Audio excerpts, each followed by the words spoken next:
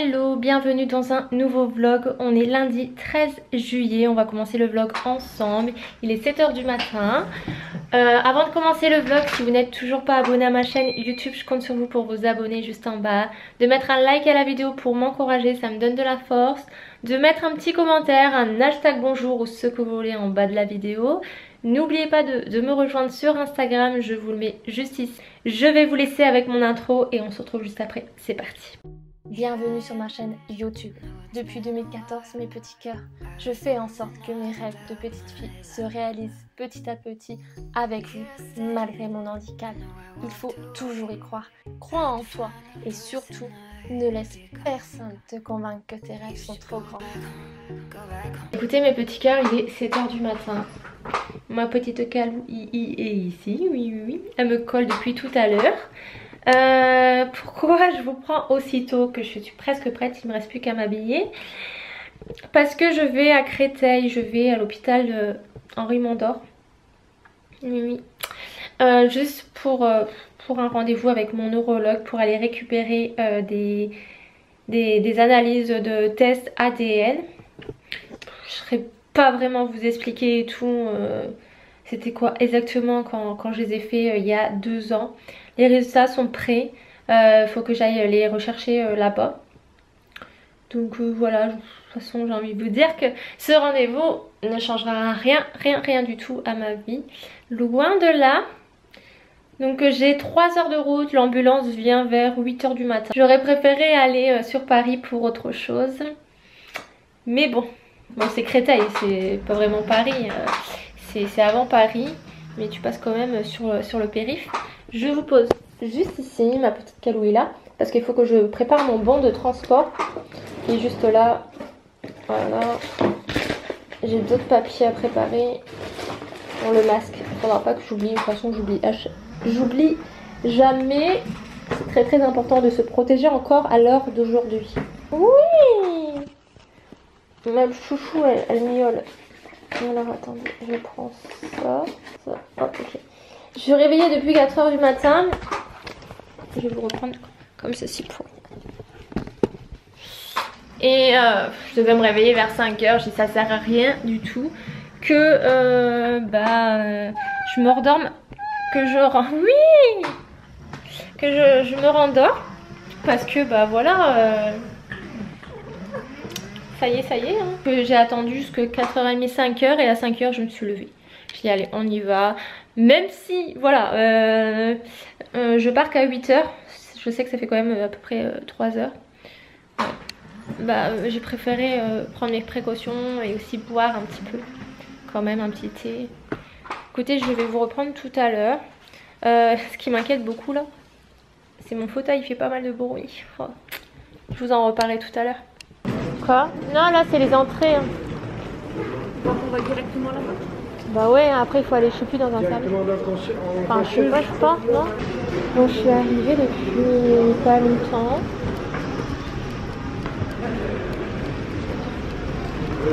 Bon, euh, j'étais juste ici. Parce que normalement, j'ai pas... Euh...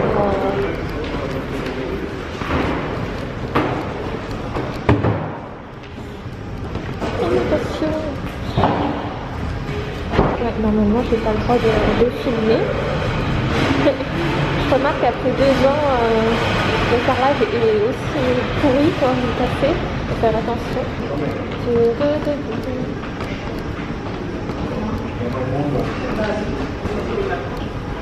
n'y a pas beaucoup de monde. Hein. C'est rez-de-chaussée du bas. C'est marqué quoi rez-de-chaussée du bas? Rez-de-chaussée bas? Rez-de-chaussée. Neurolocomotrice, ah, c'est ça. Rez-de-chaussée bas. Oui, rez-de-chaussée bas. Parce qu'au troisième étage, c'est euh, les. Euh, quand tu es hospitalisé. Rez-de-chaussée bas Ouais. Bon. Il y a six ascenseurs et. J'ai dit, c'est toujours aussi galère les ascenseurs. Il y en a six, mais jamais indisponible. Ah, euh, Rez-de-chaussée bas, ouais, c'est bon. Vas-y. Euh, ouais, avec Chaussée-Beau. Alors, on sort. Alors, attends. à droite.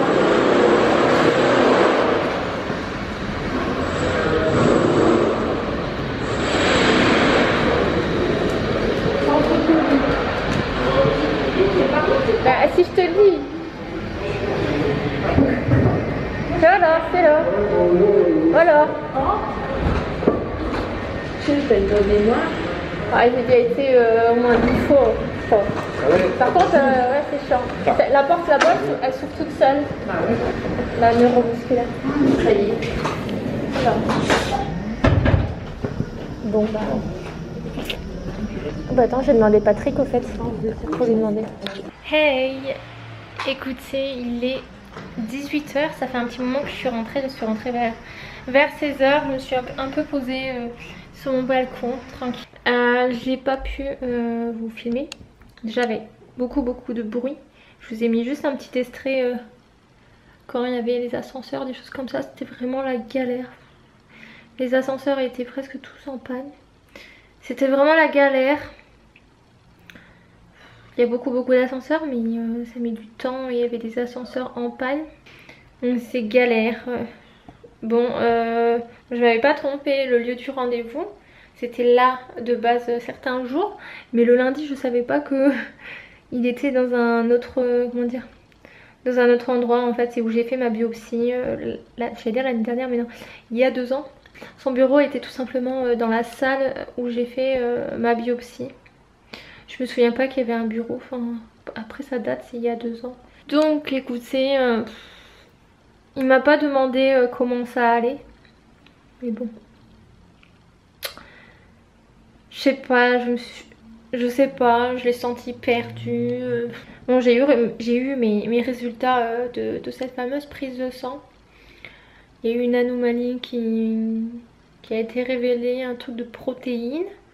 euh, qui aurait été déclenchée dans une autre maladie apparemment, enfin j'en sais pas plus. Je comprends rien du tout à leurs termes et quand tu, tu leur es... Même quand tu leur dis, bah... T'expliques pas forcément euh, ce que ce que c'est.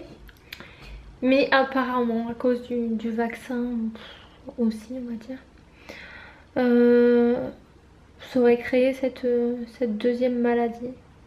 Enfin, j'ai pas trop... J'ai dû faire une deuxième prise de sang, la même prise de sang, donc à l'IFET.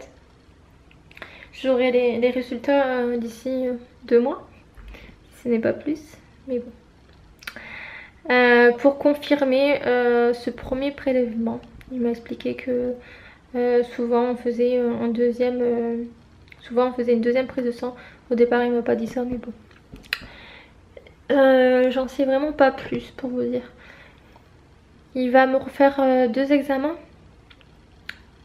vers septembre, octobre, quelque chose comme ça. Ouais, là très prochainement après l'été. Pour mon pied, par rapport euh, à ça, au truc de protéines. De toute façon, je sais très bien que ça fait des années, euh, quand je fais une prise de sang, je fixe extrêmement mal.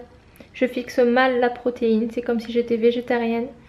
Enfin, ça fait des années depuis que j'ai mes soucis santé. euh, on voit qu'il y a un souci et on me demande souvent tu manges de la viande? Ben oui, j'essaie de manger de la protéine, enfin des protéines et tout, mais ça, ch- ça change rien du tout. Et mon magnétiseur m'avait dit que peut-être que, tu fixes mal, tu l'assimiles euh, super mal, donc je sais pas. Beaucoup perdu. Euh... Voilà, il m'a évoqué pour me dire genre ouais, euh, tu peux, tu vas être suivi sur l'île et tout. J'avais l'impression que, je sais pas, qu'il qu'il voulait euh, se décharger de mon dossier ou quoi. Après, euh, je lui ai dit bah, pourquoi, euh, il, m'a dit euh, après tu, fais ce que tu veux et tout. Mais bon. Parce que c'est pas tout le temps hein, que je vais sur euh, Créteil. Et honnêtement, je préfère être suivie bah, dans le même centre et, qu'on connaisse mon dossier, on va dire entre guillemets, que aller à droite à gauche et après aller on recommence et tout pour étudier mon dossier. C'est la grosse galère. Donc je sais pas. euh, Je suis toujours aussi perdue. hein. Je lui ai toujours parlé du centre à Marseille, euh, le grand large. Il m'a pas dit que non, euh, que c'était pas bénéfique pour moi, mais que voilà, il n'y avait pas que Marseille. Mais moi je lui ai expliqué avec la, la machine qui réveille le déficit et tout, et que malheureusement bah, c'était en hôpital de jour. Et c'était juste impossible pour moi. Donc c'est quand même loin. Que j'aimerais bien tester. Il me dit ouais peut-être dans le nord et tout. Mais je dis ouais mais votre collègue il a regardé, il n'y a rien, il n'y a rien de... Je veux pas dire qu'il n'y a rien dans le nord mais euh, il n'y a pas de, de centre euh, par rapport à mes soucis de santé. Mais bon je sais pas, toujours perdu. Et je me dis quelque part que, je sais pas, j'ai un ressenti comme quoi euh, l'eau de mer peut, peut m'aider et tout. vous savez, toutes les techniques, euh, soins marins, des choses comme ça. Je sens que ça peut, euh, peut beaucoup m'aider. Je suis beaucoup perdue. Je sais pas, je l'ai pas forcément senti euh, à l'écoute du patient ou très compréhensive. J'ai juste ressenti, voilà, je te, je te, dis ça et puis basta quoi. J'avais l'impression d'être juste un numéro. Je sais pas. Ou alors qu'il fallait que je ressente aucune émotion. Je sais pas, j'ai l'impression que des fois, euh, que ce soit médecin ou autre, bon, c'est assez dur, c'est assez dur ce que, ce que j'ai vécu depuis des années. Je m'en ai pris plein la figure. Et euh, j'ai les épaules pour, euh, pour recevoir des critiques ou des jugements et tout aujourd'hui. Heureusement, ça m'atteint pas. Mais j'ai l'impression... Je sais pas. J'ai l'impression que qu'en gros tu dois subir et puis basta quoi. Et qui comprennent pas forcément que c'est pas facile au quotidien de, gérer tout ça ou, d'avoir géré tout, euh, ou d'avoir géré euh, toutes ces années. On se met pas forcément à notre place et des fois il faudrait faudrait beaucoup beaucoup se mettre à notre place. Je sais pas que j'étais déçue de ce rendez-vous là mais j'ai envie de vous dire qu'encore une fois bah je vais toujours garder le positif on ne sait jamais, mais je pense pas que la médecine pourra m'aider. Ce sera peut-être autre chose, je sais pas. Je me suis toujours débrouillée moi-même pour beaucoup de choses. Même pour ça, les trois quarts du temps. Et ouais, on va rester positif. il faut bien quoi. Mais en tous les cas, c'est très très rare que, que vous avez un médecin qui, qui compatit beaucoup euh, bah, avec euh, vos épreuves et tout, votre maladie qui est là quoi, qui, qui, je sais pas comment vous expliquer mais je pense que vous savez ce que je veux dire. Je sais pas, j'ai senti ce rendez-vous là très très froid. Hmm. C'est pas grave. J'ai envie de vous dire, j'en ai vu d'autres et puis on verra la suite. On verra la suite de ce que les résultats vont donner. Et euh, voilà, c'est pas pour autant que, que je vais me laisser abattre, loin de là. Je suis en mode warrior, je suis une warrior et ça restera warrior. En tous les cas, ça m'a fait juste trop trop plaisir de revoir euh, mon ambulancier préféré Alain. Il est trop trop trop gentil. C'est très rare euh, d'avoir euh, des personnes qui, qui débordent d'énergie comme ça, qui se prennent pas la tête. Et ça fait plaisir quoi. On a bien parlé, bien papoté pendant les 3 heures de route à l'aller, 3 heures au retour, trop trop trop gentil. Trop trop sympa euh, de nous avoir payé un, petit thé à la menthe avec ma maman. Ça a fait du bien. Maintenant j'ai son numéro, ça va. Et quand, quand je sais que je vais à Créteil, euh, parce que je l'avais au début, mais quand dire le patron des ambulanciers, quand je demandais à Alain, euh, je l'avais pas forcément. Donc là, bah, j'ai son numéro de téléphone, je peux, je peux lui dire quand je vais à Créteil et, pour l'avoir, il s'arrange et tout. Je sais pas, je regarde mes cheveux, j'ai l'impression que je redeviens blonde. Juste ici. Vraiment un petit aparté qui, qui a rien à voir. Oui. Ma petite Calou, non on peut pas. Et qu'est-ce que tu fais? En tous les cas mes petits cœurs, je vais clôturer le vlog là. Je pense qu'il. Il y a assez de contenu malgré que voilà j'ai pas pu euh, euh, être trop présente en vidéo comme ça dans, la journée. Parce que je ne savais pas et je pense pas que je peux filmer euh, à l'hôpital et c'est normal. Mais bon, je vous fais plein de bisous. Prenez ma soin de vous. Gros bisous.